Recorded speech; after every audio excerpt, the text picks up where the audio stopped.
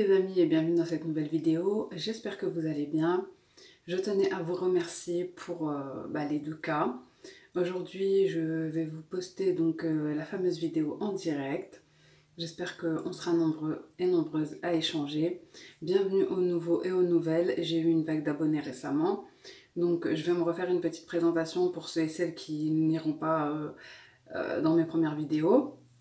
Comme mon nom l'indique, je m'appelle Imen, je suis maman de trois enfants. Et sur ma chaîne, vous trouverez des recettes, de la cuisine, des routines, euh, du ménage, de l'organisation, parfois des vlogs, des haul courses, etc. Donc si ce contenu vous intéresse et que vous souhaitez me suivre, n'hésitez pas à vous abonner et à activer la petite cloche. C'est totalement gratuit et ça me fera super plaisir. Donc euh, aujourd'hui, comme euh, je vous l'ai indiqué, la vidéo qui va suivre, c'est un petit peu de cuisine, du meal prep, donc pour la semaine, pour m'avancer pour les repas de la semaine, puisque je suis en travaux actuellement. Donc là, vous me voyez assez haute, c'est parce que je suis en travaux et que bah, c'est un petit peu euh, désordonné un peu partout. Donc j'avais déjà fait la première introduction, mais on n'entendait pas bien, donc j'ai décidé de la refaire. Dans la vidéo, il y aura aussi euh, un soin, surtout pour ma fille qui a des rougeurs au niveau de... elle a des érythèmes fessiers en fait. Et j'en ai profité pour me faire un soin aussi maison, à moi. Et il y aura donc dans les recettes, euh, ça sera surtout de la découpe de légumes, euh, de la cuisson. Je vais pas assembler tout maintenant parce que nous, déjà j'ai peur que ça tourne. Et on n'est pas adepte de cuire toutes les viandes et tous les légumes et de laisser ça pendant je ne sais combien de jours au frigo. Je préfère euh, donc euh, faire des cuissons, euh, je ferai des entrées, des, des, accompagnements, peut-être aussi des goûters. Donc il y aura aussi une petite routine ménage, J'espère que ça va bien m'aider puisque souvent quand c'est l'heure du repas, euh, je suis dans le rush vu qu'il y a les travaux, que je peux pas m'arrêter, je suis dans la peinture ou autre, des enfants au faim, puisque j'ai aussi les trois enfants à la maison depuis un certain temps pour ceux qui me suivent. Donc il faut gérer entre tout ça. Donc c'est pour ça que j'ai décidé cette semaine de m'organiser au niveau des repas pour que j'ai tout à disposition et que au moment du repas, j'ai pas à y passer une heure. Voilà les amis, je vous laisse découvrir le contenu de la vidéo pour qu'on puisse échanger en direct.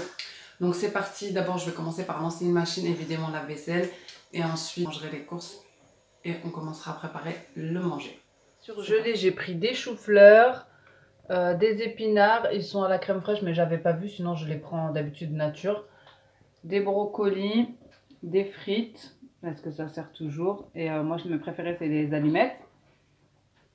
Ensuite, en yaourt, j'ai pris des yaourts euh, pâtissiers comme ça des crèmes aux œufs à la noix de coco. Donc ceux-là, c'est la première fois que je les vois. D'habitude, c'est des, des natures. Des riz au lait. Ensuite, en charcuterie, j'ai pris des petites saucisses, des escalopes de poulet, un poulet, du saucisson, des lardons de volaille, du, jambon de dinde et de poulet, et euh, des euh, pâtes au fromage fourrées au quatre fromages ça sert toujours. J'ai pris des colins d'Alaska, frais, de l'ail finzer, de la feta, du fromage de chèvre, du cœur de lion, du doux crémeux, ovale comme ça. Donc j'ai pris de la tartiflette, deux boîtes de thon, des fraises, euh, du taboulé, des échalotes, des oignons rouges, des carottes, des poireaux, des pommes de terre rouges, une petite boisson à la fraise pour les enfants, tomates, tomates cerises, bananes, des petites euh, compotes pour ma fille, du yaourt comme ça à la vanille, j'aime bien le mélanger avec des fruits, crème fraîche, des myrtilles, du gruyère râpé. Comme tous les matins, je vais commencer par lancer une machine. Euh, d'habitude, j'utilise euh, de la lessive liquide, mais euh, là, je suis passée aux, petites capsules parce que j'en avais eu lors d'une promo et du coup, comme j'ai pas mal de stock, j'ai décidé d'utiliser ça et en plus, c'est mélangé avec du Lénor. Bon, même si je rajoute des billes de Lénor. J'aime trop l'odeur, mais euh, par contre, j'en mets pas pour la lessive de mon bébé. Je mets juste la lessive le chat. Je mets ni assouplissant ni pernis. Donc, je vais commencer par nettoyer tous les fruits pour pouvoir les mettre au frigo et les découper pour certains. Comme ça, les enfants pourront servir tout seuls à l'heure du goûter ou du dessert. Donc, je vais commencer par les fraises, puis les myrtilles. Donc, je les nettoie juste avec bah, un saladier d'eau et du vinaigre pour enlever les saletés et tout ce qui pourrait rester dessus.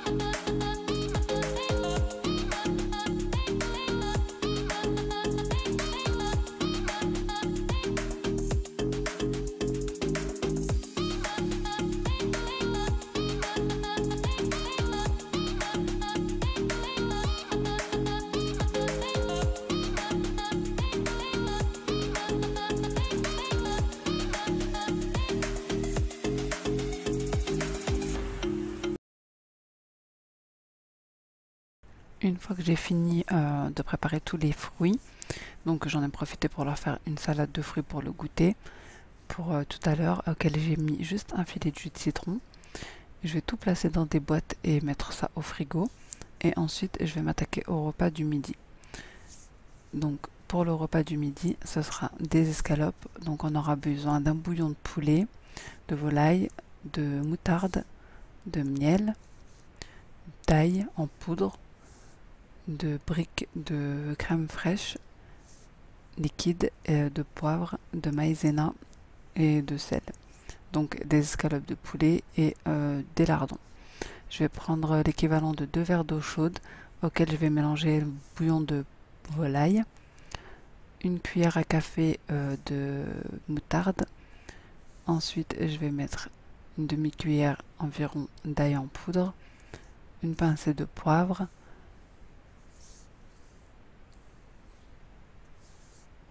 une bonne cuillère à soupe de miel et environ la moitié de la briquette euh, de crème fraîche liquide. Donc il n'y aura pas besoin de sel hein, par contre. Je vais mélanger le tout pour avoir un mélange homogène et ensuite je vais rajouter une cuillère à soupe de maïzena et il faut bien mélanger pour euh, qu'il n'y ait pas de grumeaux. Donc c'est pour ça qu'il faut que l'eau soit assez chaude. Chaude, pas bouillante. Ensuite, tu places les escalopes que j'ai nettoyées dans une casserole. Enfin, dans une poêle plutôt. Et par-dessus, je vais venir mettre les lardons de volaille et le mélange qu'on vient de faire. Donc euh, il faut que les escalopes soient recouvertes donc pour bien cuire. Voilà ce que ça donne. Ensuite, on va venir placer le tout eh bien euh, en cuisson sur la plaque une vingtaine de minutes. Moi, je vais accompagner ça de petits pois, enfin de gros pois plutôt, que je vais faire euh, d'abord revenir dans de l'eau chaude et ensuite à la poêle et également de riz. Donc une fois que les 20 minutes sont passées, on n'oublie pas de mélanger, de retourner les escalopes pour qu'elles soient bien cuites. Je rajoute euh, du gruyère, du persil frais et je vais placer le tout euh, environ 10 minutes à 180 euh, en mode grill dans le four. Entre temps, j'en profite pour faire d'autres choses, donc cuire des œufs. Je vais également cuire le riz pour accompagner le repas du midi et je m'avance un maximum pour les repas de la de les préparations de la semaine en même temps.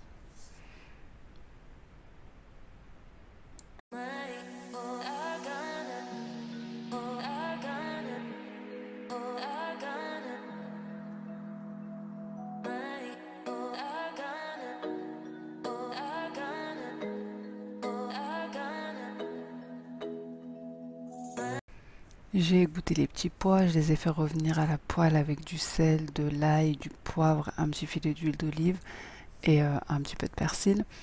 Ensuite, donc j'ai égoutté le riz. J'ai placé les escalopes au four pour qu'elles gratinent un petit peu. Et ensuite, c'était l'heure du repas pour nous, donc j'ai servi les enfants. C'est pour ça que ça m'a pris pas mal de temps. Comme je vous dis, j'ai les enfants avec moi, il faut s'arrêter, il faut s'en occuper. Donc euh, voilà, c'est pour ça que je voulais m'avancer dans les préparations pour pouvoir être ailleurs en même temps euh, au niveau des travaux, etc. En tout cas, concernant la recette, c'était super bon. Après, vous pouvez accompagner ça de haricots verts à la place de des petits pois ou de brocolis ou de ce que vous avez, de courgettes, etc. Mais euh, franchement, c'était super bon. N'hésitez pas à le refaire. Voilà ce que ça donne.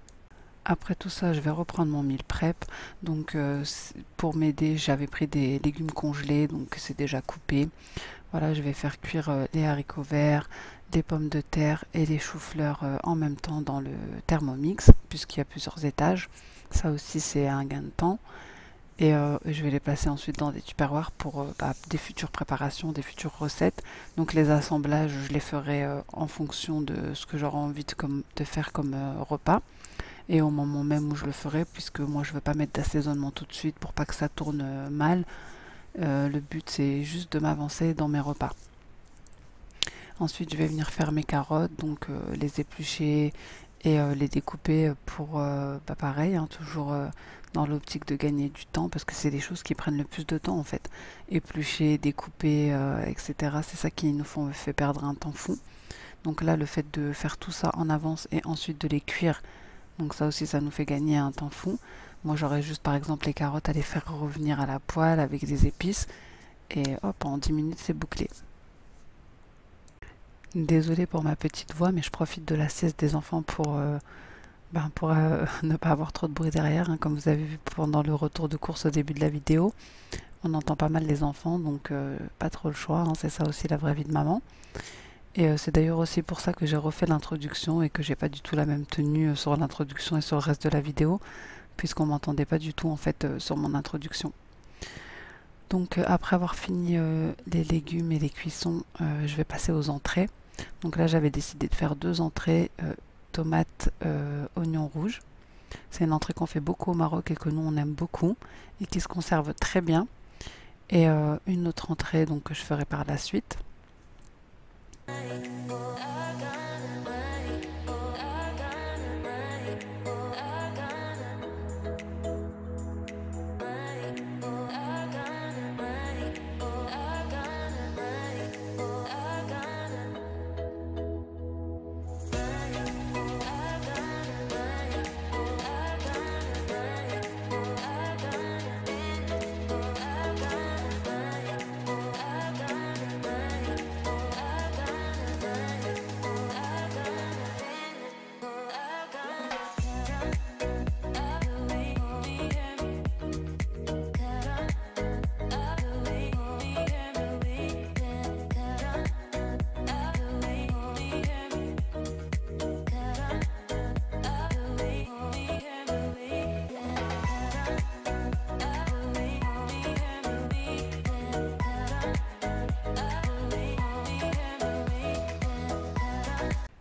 Donc j'ai coupé les radis pour faciliter les enfants qui puissent se servir seuls. Et ensuite je passe à une deuxième entrée. donc cette salade là c'est ma salade préférée, à moi et à ma fille d'ailleurs. Elle est super simple et super bonne, super fraîche, à base de concombre et de feta, avec une petite vinaigrette euh, avec de la crème fraîche dedans. Donc euh, une vinaigrette classique, un vinaigre, sel, poivre, ail et crème fraîche. Et euh, franchement, j'aime trop cette salade-là. Donc là, je vais, comme je vous ai dit, la préparer en avance, mais sans mettre d'assaisonnement comme pour tout le reste. Et ensuite, je vais mettre la feta dedans, pareil, mais je vais mettre au frigo sans assaisonnement.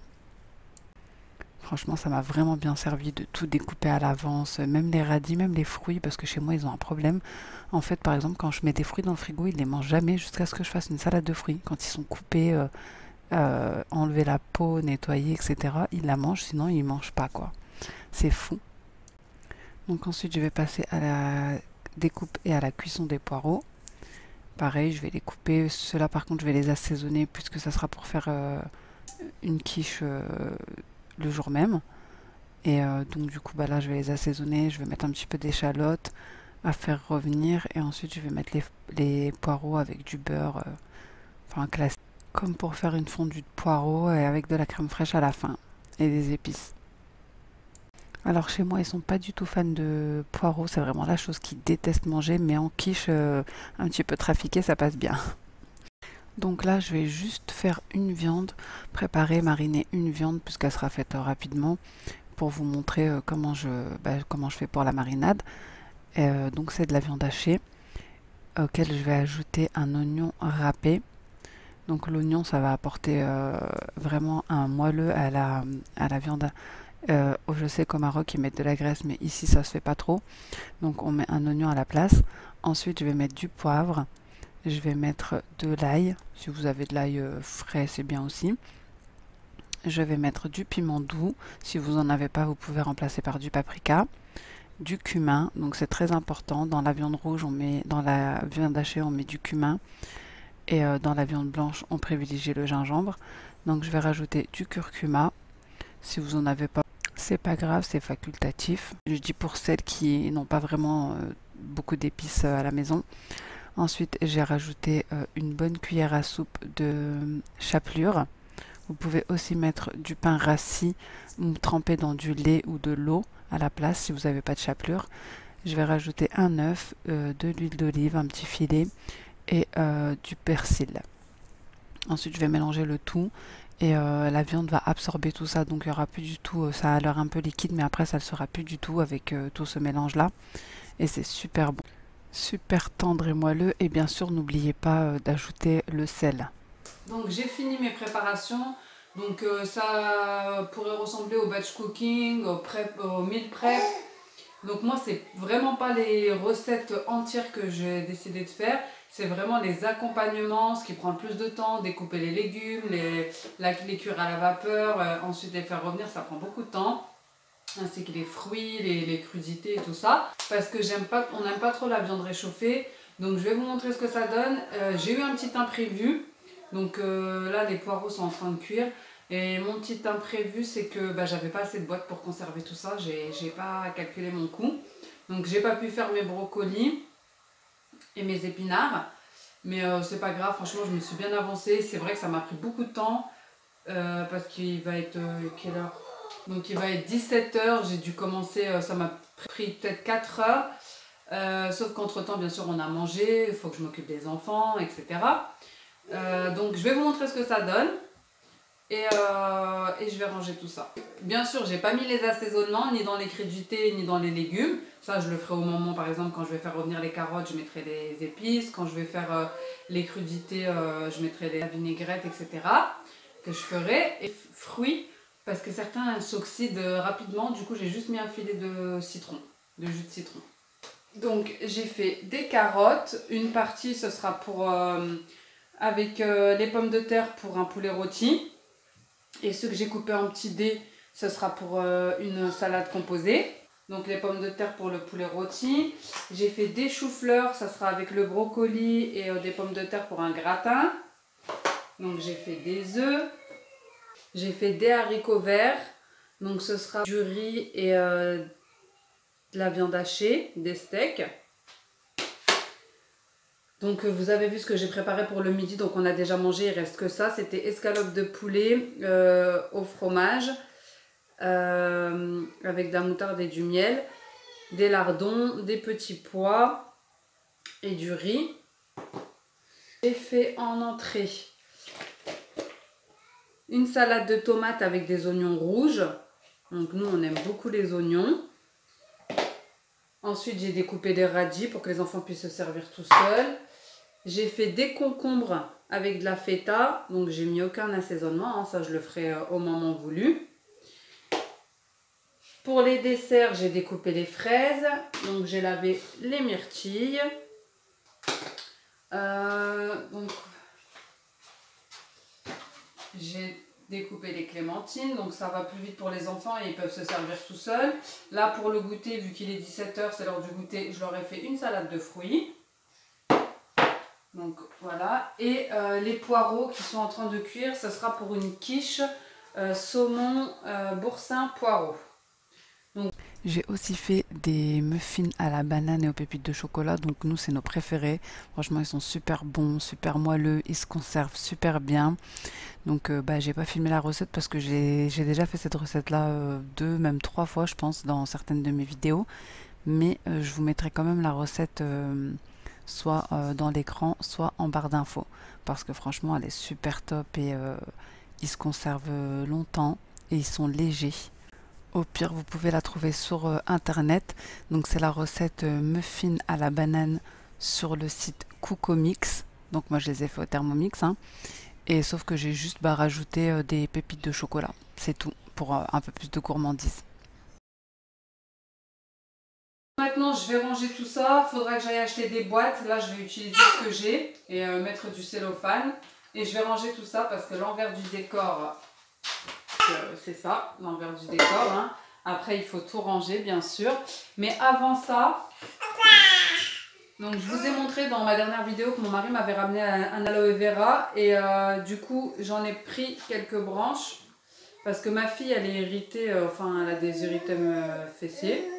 Et du coup, j'ai regardé sur internet, on a regardé un petit peu, apparemment c'est super bien, donc je vais tester ça vu que j'ai essayé la mitosile, la crème de change Mustela et rien n'a marché, donc je vais essayer l'aloe vera. Et désolé pour les bruits, hein, c'est la vraie vie de maman. Pour le masque hydratant, j'en ai profité d'avoir enlevé des euh, tiges d'aloe vera pour me faire un petit masque à moi aussi, vu que j'ai fait un petit soin pour ma fille. Donc il vous faut un demi-concombre bio, un yaourt nature et euh, bah, le gel de, de l'aloe vera. Donc on va mixer euh, le concombre et ensuite on va le rajouter le yaourt et euh, le gel de l'aloe vera jusqu'à obtenir un mélange homogène.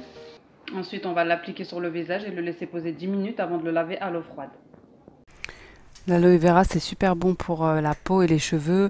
Il existe différentes manières de l'utiliser. Donc celui-ci, c'est un masque hydratant. Vous pouvez faire un masque purifiant en l'associant à du jus de citron, peau grasse, pour enlever euh, les peaux mortes. Vous pouvez faire un masque anti-âge euh, en l'associant avec de la pulpe de concombre. Et pareil, vous le laissez agir pendant 30 minutes. Pour l'acné, vous pouvez pour l'acné, vous pouvez mélanger euh, le gel d'aloe vera à une cuillère de miel. Ça va avoir un effet cicatrisant pour bah, les traces de boutons, etc. Pour les taches, vous pouvez l'associer à de l'huile d'olive et du jus de citron pour les, euh, taches sur la peau. Donc moi, euh, l'erreur que j'ai faite, c'est que j'aurais dû, juste après l'avoir mixé le, concombre, j'aurais dû euh, l'égoutter en fait pour enlever l'excès d'eau. Du coup, ça fait qu'il était super liquide. Il était super liquide et quand je l'ai mis, ma fille, elle a eu peur. Donc j'avais un petit peu de mal à l'appliquer, mais je l'ai mis quand même et ça m'a laissé un petit film gras, donc ça m'a, je pense que c'est vraiment hydratant. Donc là, place au ménage, je vais allumer mon petit diffuseur qui me détend, qui me rend zen. Je vais mettre un petit peu d'huile essentielle d'orange parce que j'aime bien cette odeur. Et ensuite, c'est parti.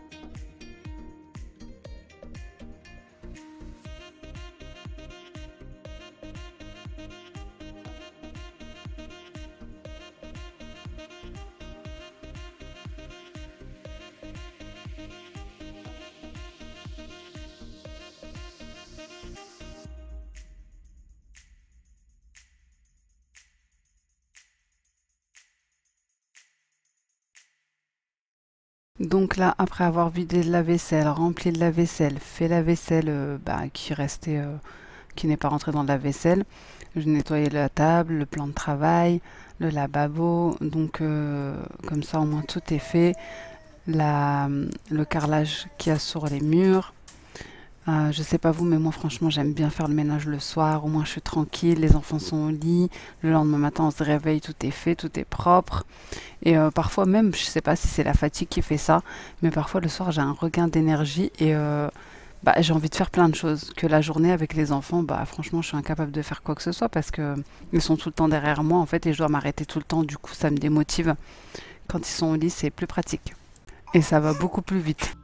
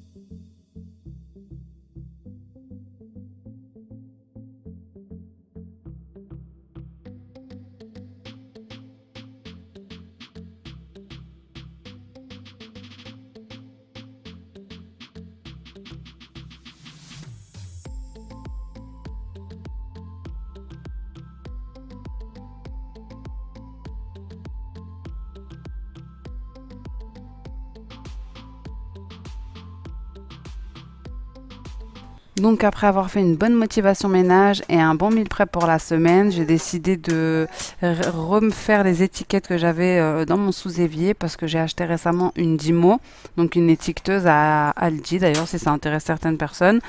Elle était à, il me semble, 17 euros. Et euh, les petits rubans adhésifs qui vont avec, ils étaient à environ 5 euros. Donc euh, voilà, j'ai décidé de refaire ça pour que ça soit un peu plus joli et homogène. Puis euh, celle que j'avais mis, euh, bah, l'écriture n'était pas top et en plus elle se décolle un petit peu. Après je devrais faire toutes celles qu'il y a dans mon garde-manger, mais bon ça sera pas pour ce soir. Désolée pour les petits bruits, hein, c'est ma fille qui tape sur une chaise, donc c'est soit ça, soit elle crie. Cette 10 mois, elle est vraiment bien et franchement, ça me donne envie de tout étiqueter dans la maison. C'est super simple, il y a juste à taper le mot, euh, imprimer et hop, euh, découper pour faire des petites étiquettes. Et euh, ça rend bien mieux que celle que j'avais faite bah, manuscrite à la main. Donc voilà ce que ça donne un petit peu. Donc, comme vous voyez, depuis que j'ai organisé mon sous-évier, ça n'a pas changé. Hein, il est resté bien organisé. Et c'est pour ça que bah, je veux réorganiser chaque pièce de la maison. Mais bon, ça prend pas mal de temps, donc chaque chose en son temps. Donc là, j'accroche les chiffons sales donc pour qu'ils sèchent et ensuite je les mettrai à la machine. Voilà les amis, j'espère que cette vidéo vous aura plu. Donc euh, c'est le genre de vidéo que j'aimerais proposer à l'avenir, donc avec un petit peu de tout, du rangement, du nettoyage, des recettes, de la cuisine, des hum, préparations pour la semaine, des menus, euh, de l'organisation, etc. Donc euh, faites pas attention à ma tête, hein. entre temps j'ai dû donner euh, le dîner aux enfants, les laver, leur faire prendre le bain. Du coup, euh, bah, l'humidité, vous connaissez. Hein. Dites-moi si ce genre de vidéo vous plaît. Si c'est le cas, bah, j'en ferai plus souvent. Si ça vous a plu, n'hésitez pas à me laisser un petit pouce bleu, un commentaire, ça fait toujours plaisir. N'hésitez pas à vous abonner et à activer la petite cloche. pour ceux qui me suivent sur Instagram, vous aurez vu mes petites stories. Je vous dis à bientôt dans une prochaine vidéo et je vous fais de gros bisous. Ciao thank you